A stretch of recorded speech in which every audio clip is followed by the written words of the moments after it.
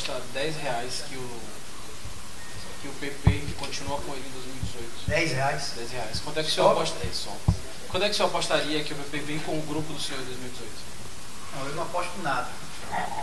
Porque, veja, primeiro, eu não aposto em torno de coisa séria. Agora, eu não imaginava que a confiança do governador estivesse tão baixa. Porque já que ele se dispôs a apostar, ele não podia ter apostado só 10 reais, né? Está baixa demais a confiança dele. Agora, eu não aposto nada, porque eu não vou apostar em torno de coisa séria. Mas tem essas conversas com o então Não, veja, é, entenda o seguinte.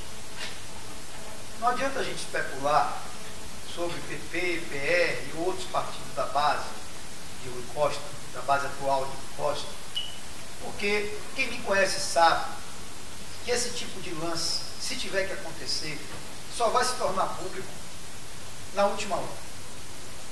Eu só vou embarcar nisso quando tiver 100% fechado, se for o caso. Enquanto for especulação, enquanto for hipótese, eu não entro nisso. Eu não entro nisso. Diálogo com o PP em Brasília eu tenho. Diálogo com o PR em Brasília eu tenho. Mas não quer dizer que isso se dá em torno de questões ou de compromissos eleitorais para 2018 na Bahia. Não quer dizer. É, eu fui congressista há 10 anos. Eu tenho relações amplíssimas. Agora, lá na frente, se o PP, se o PR quiserem conversar sobre política, nós estaremos abertos a dialogar. É claro que estaremos. Mas não poderá jamais ser um desejo de mão única.